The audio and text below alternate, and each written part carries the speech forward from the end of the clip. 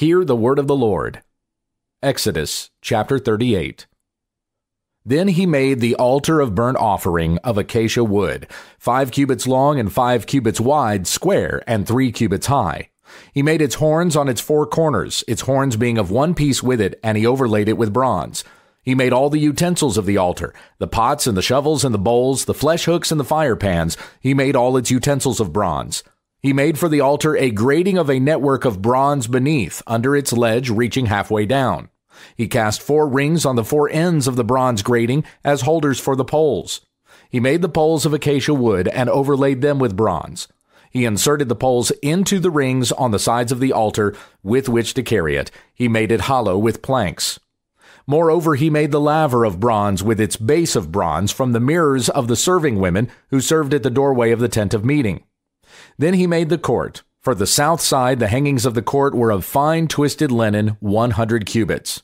Their 20 pillars and their 20 bases made of bronze. The hooks of the pillars and their bands were of silver. For the north side, there were 100 cubits. Their 20 pillars and their 20 bases were of bronze. The hooks of the pillars and their bands were of silver. For the west side, there were hangings of 50 cubits with their 10 pillars and their 10 bases. The hooks of the pillars and their bands were of silver. For the east side, toward the sunrise, 50 cubits. The hangings for the one side of the gate were 15 cubits, with their three pillars and their three bases. And so for the other side. On both sides of the gate of the court were hangings of 15 cubits, with their three pillars and their three bases. All the hangings of the court all around were of fine twisted linen. The bases for the pillars were of bronze. The hooks of the pillars and their bands were of silver, and the overlaying of their tops were of silver, and all the pillars of the court were furnished with silver bands.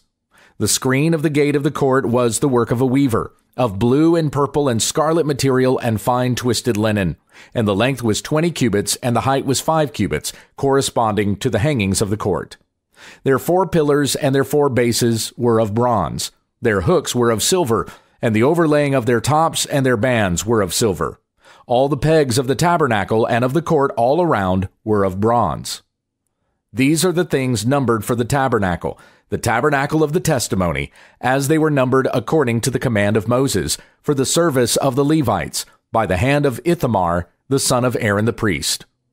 Now Bezalel, the son of Uri, the son of Hur, of the tribe of Judah, made all that Yahweh had commanded Moses. With him was Oholiab, the son of Ahisamach, of the tribe of Dan, a craftsman and a skillful designer, and a weaver in blue and in purple and in scarlet material and fine linen all the gold that was used for the work in all the work of the sanctuary, even the gold of the wave offering, was 29 talents and 730 shekels, according to the shekel of the sanctuary. The silver of those of the congregation who were numbered was 100 talents and 1,775 shekels, according to the shekel of the sanctuary a bekah a head, that is, half a shekel according to the shekel of the sanctuary, for each one who passed over to those who were numbered from 20 years old and upward, for 603,550 men. 100 talents of silver were for casting the bases of the sanctuary and the bases of the veil, 100 bases for 100 talents, a talent for a base.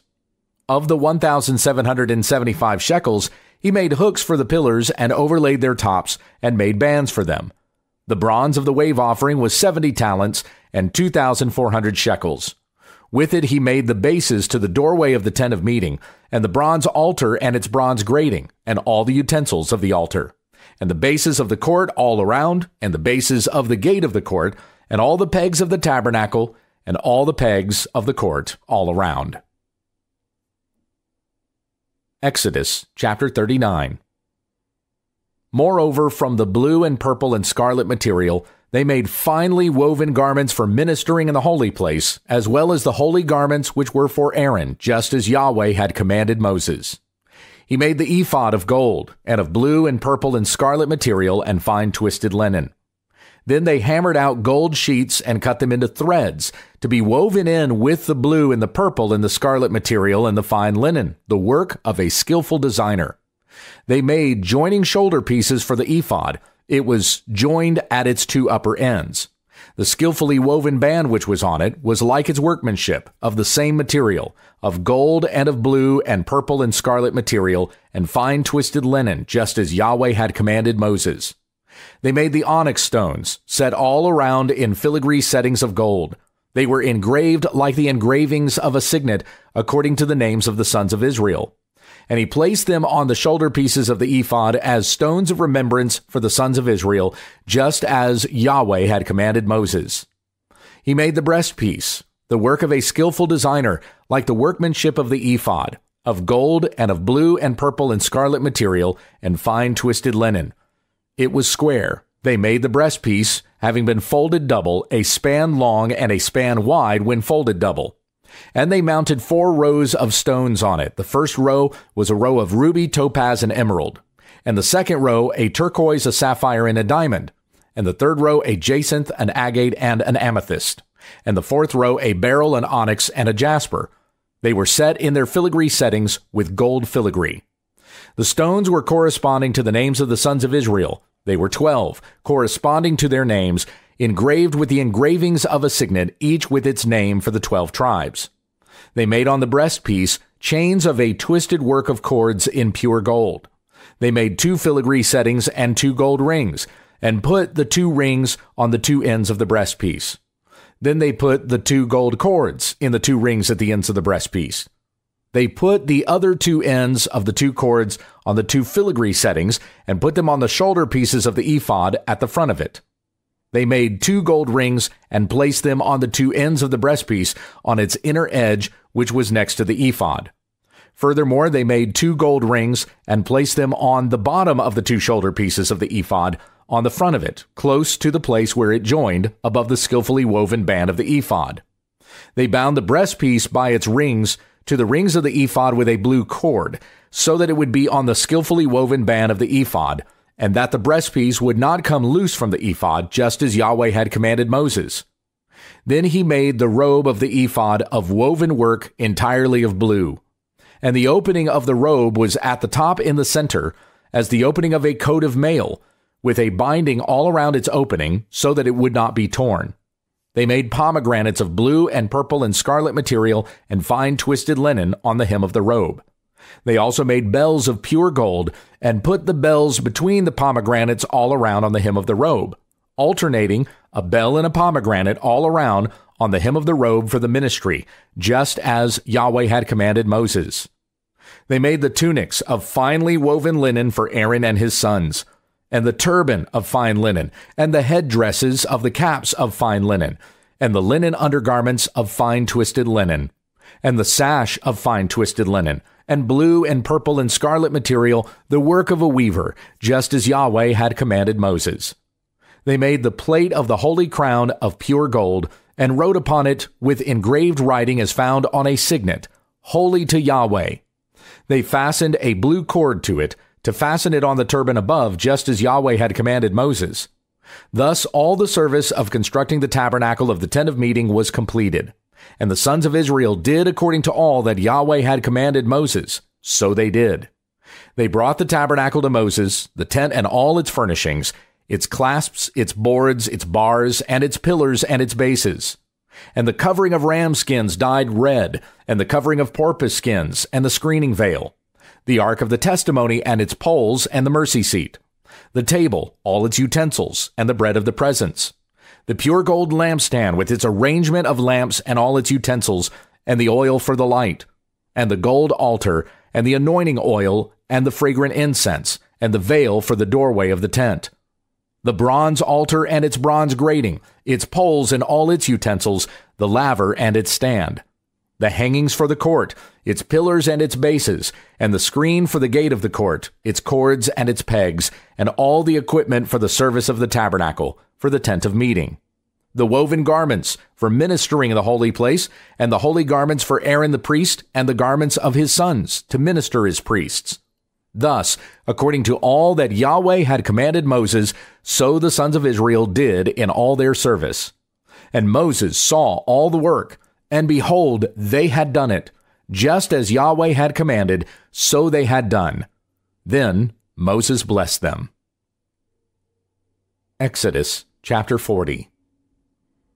Then Yahweh spoke to Moses, saying, On the first day of the first month, you shall set up the tabernacle of the tent of meeting. You shall place the ark of the testimony there, and you shall screen the ark with the veil. You shall bring in the table and arrange what belongs on it, and you shall bring in the lampstand and mount its lamps.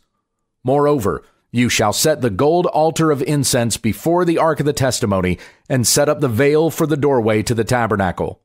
You shall set the altar of burnt offering in front of the doorway of the tabernacle of the tent of meeting. You shall set the laver between the tent of meeting and the altar, and put water in it. You shall set up the court all around, and hang up the screen for the gateway of the court. Then you shall take the anointing oil and anoint the tabernacle and all that is in it, and set it apart as holy, and all its furnishings, and it shall be holy.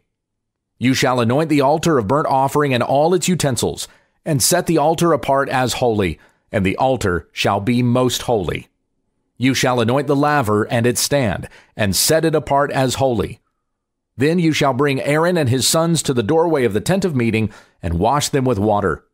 You shall put the holy garments on Aaron, and anoint him and set him apart as holy, that he may minister as a priest to me. You shall bring his sons and put tunics on them. And you shall anoint them even as you have anointed their father, that they may minister as priests to me. And their anointing will be for them for a perpetual priesthood throughout their generations. Thus Moses did. According to all that Yahweh had commanded him, so he did.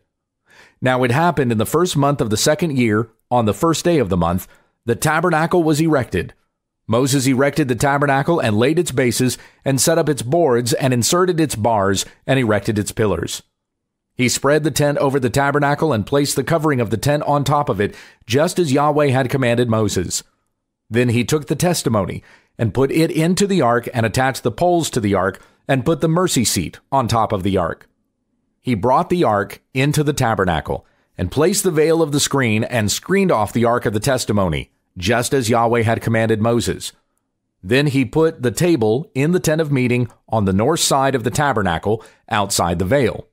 He set the arrangement of bread in order on it before Yahweh, just as Yahweh had commanded Moses.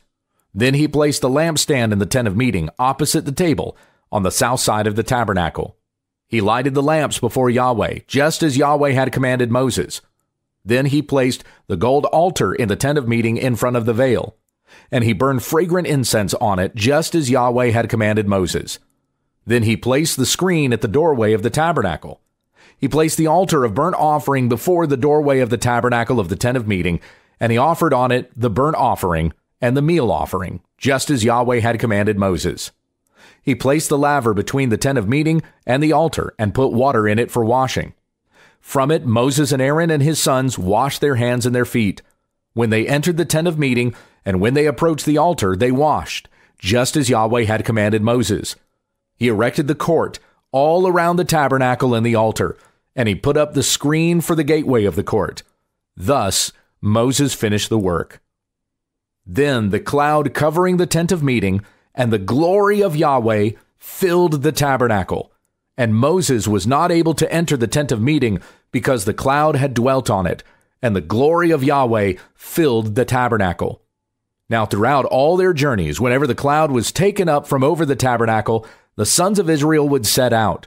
But if the cloud was not taken up, then they did not set out until the day when it was taken up. For throughout all their journeys, the cloud of Yahweh was on the tabernacle by day, and there was fire in it by night, in the sight of all the house of Israel.